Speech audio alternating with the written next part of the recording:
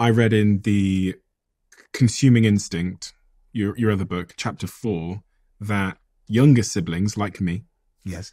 youngest of four, are more likely to be creative. Oh, you you you pulled that one out. Okay. So does that mean that if we're more likely to be creative and creativity is associated with happiness in the in the way that you just described, that I am happier than all of my siblings? Do you want to guess what Dr. Saad's sibling order is? You're the youngest. By far. So let me let me explain. Let me step before I answer that in the way you frame the question. Let me explain what the mechanism is. Okay. I also just want to add one layer to that as well. I was sat with, at dinner the other day with my um, with about ten of our directors, really they're founders of companies essentially. And I, I thought it would be interesting to go around and ask them because I've started to form a bit of a picture about this. And I went around the table and asked every single one of them, where do you rank in order of siblings? And eight of them ranked as the youngest sibling. Oh, I love thought it. That was so crazy. Yeah. Is that yeah. that's psychology. So let me tell you the background to that theory. Okay. Which I've done my own research on and published work on it.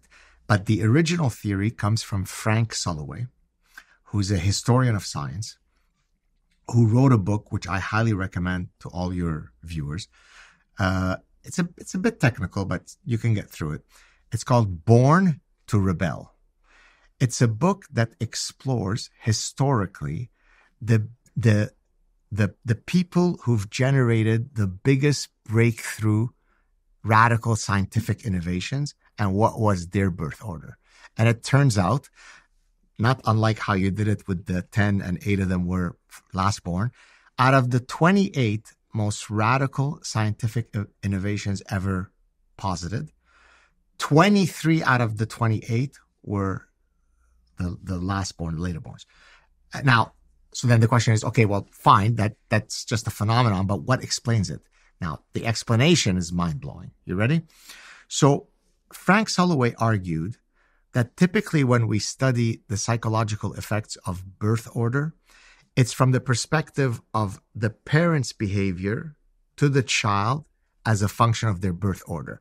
First child, I'm very strict. Second child, I'm getting tired. Fifth child, run the streets. I don't give a shit. Okay. So that's the causal, causality of the birth order effect. He flipped the whole thing. He said, no, no, no. Much of the impetus of the birth order effect is coming from the child. And let me explain how.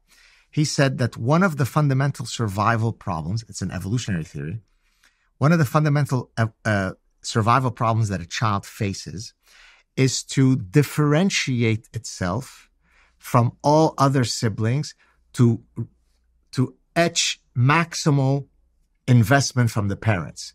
How do I do that? So that's called the Darwinian niche partitioning hypothesis. When you start off, your firstborn, all of the niches are unoccupied. There is the I'm a good boy niche. I'm a rebel niche. I'm a, di- right? There, there are many, many, there's a panoply of niches that are unoccupied. So I'm firstborn. I'm going to pick whichever one. The second born is born. There is N minus one niches. One is taken. So the I'm a good boy niche. I got to differentiate myself. I'm second. I'm an asshole niche. I'm a, I'm a contrarian niche. Let's keep going down the birth order. There are fewer and fewer unoccupied niches left for later borns, especially if the sibship is big. Sulloway argued that that forces the last born to score differently on key personality traits, one of which is open to experience.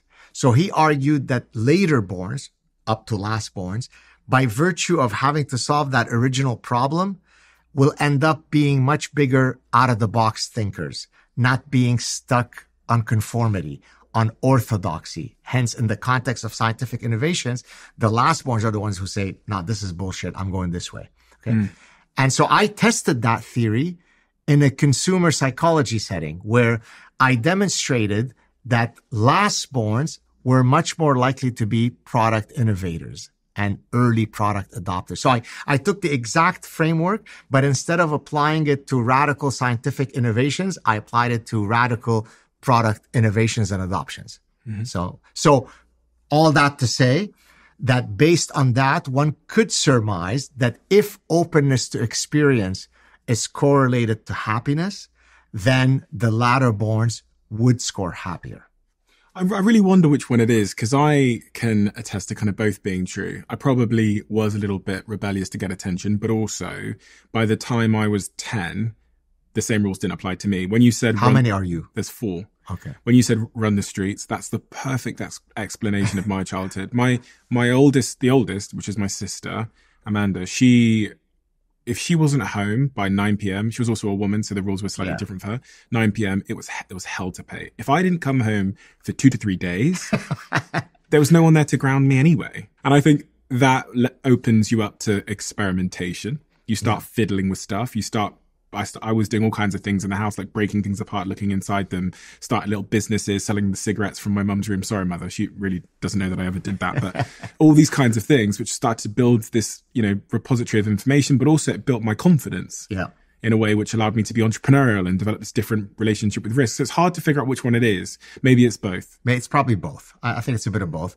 Uh, but yeah, I, you know, I haven't been, I, I know that your team had asked me, what are some questions that we could ask that no one else?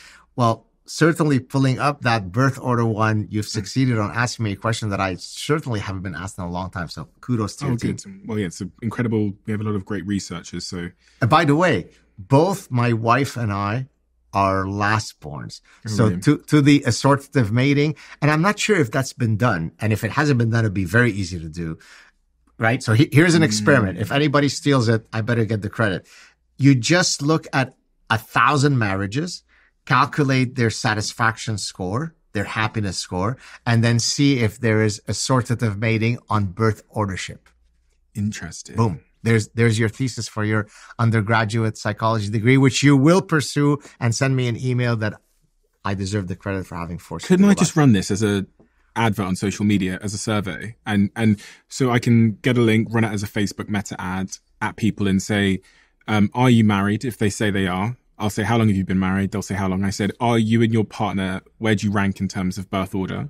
And then I can get the stats. Oh, absolutely. So many studies now, scientific studies, are conducted online, and they can be conducted online in exactly the way that you said. You use existing social portals to have a big wave of data collection, but there are other ways. By the way, you could have you have you heard of MTurk? No, So MTurk is a platform where people sign up to be participants, right?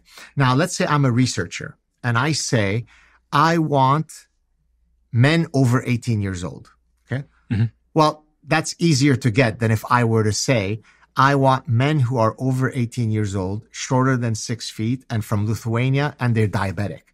Now, depending on how I structure my criteria of inclusion, Mhm. the price that I have to pay for getting those participants will go up, yeah, right? So if I'm running a study, I just need male and female adults to run a study on this task. It ends up being a few cents. And so it has opened up the velocity at which we can do research, scientific research, not just stuff I post on Twitter, Mm-hmm. scientific research. It has increased it tenfold. So, yeah, so you can certainly do we'll that. do it. So we will, I set this as a challenge to my research team and our data science t- team, which is to run a survey on social media using adverts, so digital adverts, Facebook ads, Meta ads, um, X ads, whatever. And the survey should basically seek to answer first their gender, their marital status, ask what birth order they fell in, and then ask what order their birth, their marital partner, partner, yeah. fell into. But then also understand how long they've been together because we want to check these marriages are legit. Absolutely. And Well, I'll put it um, on the screen. That'd be so cool. And please share I with will, the result. yeah. If you love the Diary of a CEO brand and you watch this channel, please do me a huge favor. Become part of the 15% of the viewers on this channel that have hit the subscribe button. It helps us tremendously, and the bigger the channel gets, the bigger the guests.